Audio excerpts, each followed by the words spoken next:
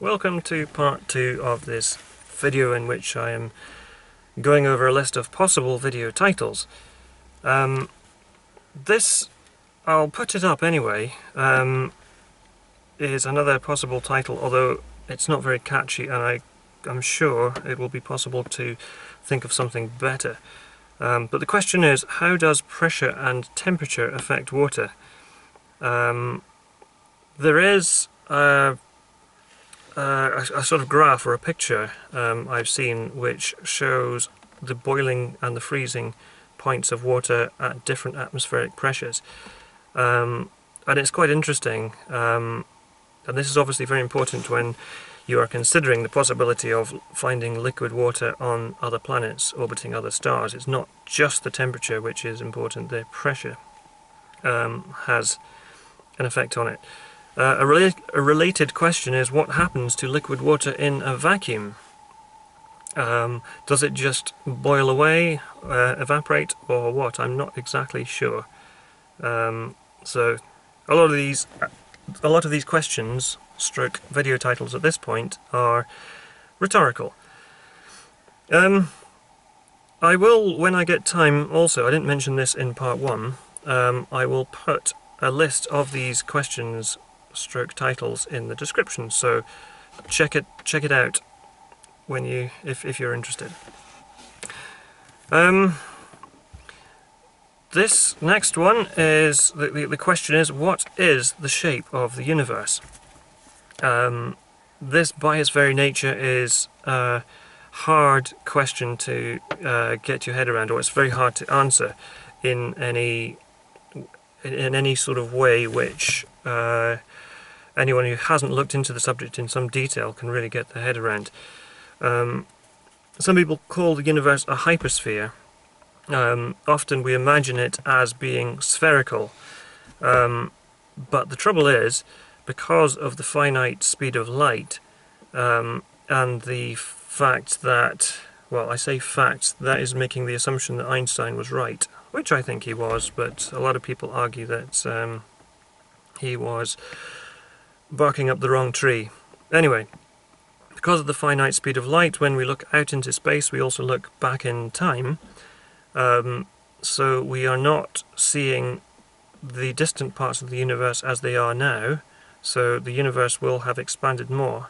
But then that leads back to the question of um, what does now mean? Um, if simultaneity, two events happening at the same time, can only work on a local scale, um, it kind of renders the whole concept of things happening simultaneously in different parts of the universe meaningless. Um, while we're on the subject of people who think Einstein was stupid or an idiot, um, I already made a couple of fairly um, brief videos on Bill Gaede, a, a, guy who I would say is a pseudoscientist. Um, this video title, this list dates, you know, I started writing this uh, many, many months ago before I made videos about Bill Gaede himself, but I was just commenting with him. Um, and I was wanting to make a video called Bill Gaede, Pseudoscientist or Genius. Um, I'm sure he thinks he falls into the latter category. Um, most other people I have spoken with would say he's definitely a pseudoscientist. Moving on, um, another possible video title, not a very concise one, is Say What You Really Think, Not What People Want to Hear. And this would be some exploration of how easy it is to speak your mind online with the anonymity of the internet compared with real life situations where people feel a lot more self-conscious and um, don't want to cause upset. Um, another observation I've had for a very long time which um, is a lot of people seem to um, watch movies and uh, especially when the movies are concerning conspiracies and um, uh, what's the obvious word that's not coming to my brain just now? Uh, science fiction. Brain's running slow today. Um, I think a lot of people see things in movies and for some reason um, they get a little bit confused with what is and what isn't possible in real life. Um, and as far as movies go, the characters, um, you know, for the sake of making an interesting story, um, most of the time they say exactly what they think in situations, and you don't so often get um, shy people um, or people who bottle things up um, in films and in fictional situations. So that is, is, all stuff I would like to put into a video. Um, say what you really think, not what people want to hear. Um, finally, getting on to something which is related to religion and atheism. Um, simple title, Are We All Agnostic? Um, first of all, we have to break down what agnostic is. There seem to be two um, definitions, um, and this uh, irritating thing is the reason why uh, there's a lot of argument about what agnostic means. People talk cross purposes a lot of the time. Cross purposes. Um, agnostic can mean you don't know something, um, but it can also mean that you think something is unknowable. So when it comes to the existence of God or not, um, I would call myself an agnostic atheist, which means that I don't know if there's a God or not. I don't think there is, but I don't know. Um, somebody who has spent more time studying philosophy and looking into it might well be of the persuasion that um, the question is unanswerable. Um, I don't know that it's unanswerable, so I wouldn't call myself an agnostic who says that uh, it's not possible to know whether there's a God or not. Hope that makes some sense. Anyway, it's something I would, at some point, I've, I've touched on it in the past in other videos, but I would like to make a video specifically about that. Um, another video title um, is What a Wonderful World. Um, Louis Armstrong made a song.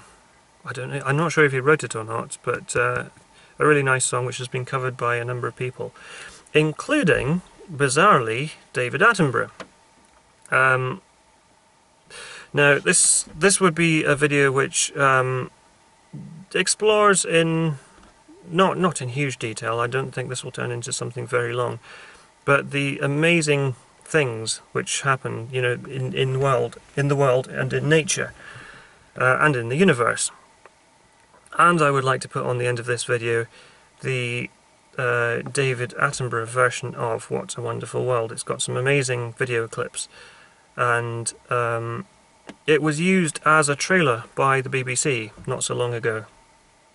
Um, I'll put, if I can find it, the link to that particular trailer, which is available on YouTube, in the description.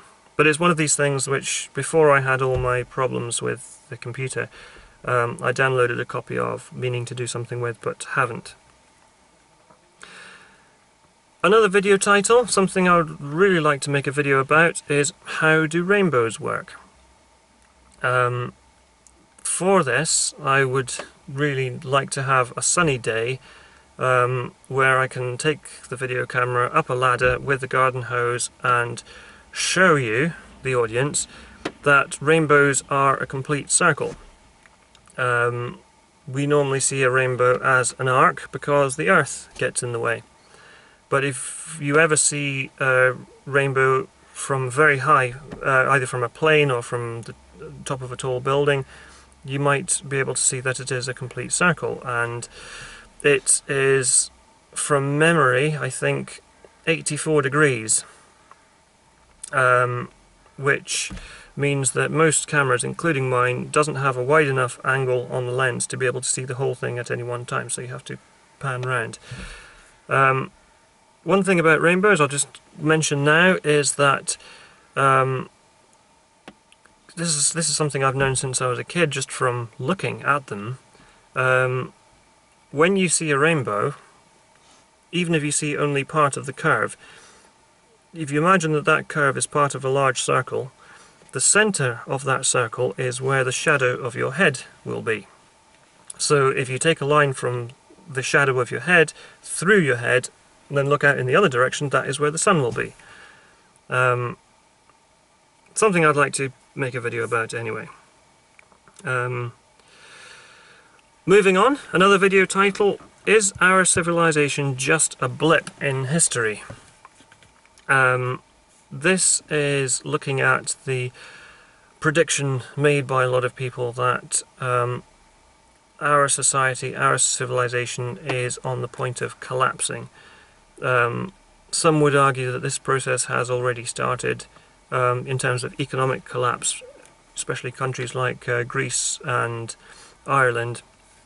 Um, so it's just looking at uh, if it's going to collapse soon, how is it going to happen? Can it be avoided? Is it a bad thing? Um, we know previous civilizations, such as the the Greeks, the Romans, the ancient Egyptians, the Mayans, the Aztecs, the Toltecs in South America. These civilizations have flourished and then they have virtually disappeared and the people who survived lived in much more primitive conditions, um, almost to the point of being hunter-gatherers at some time.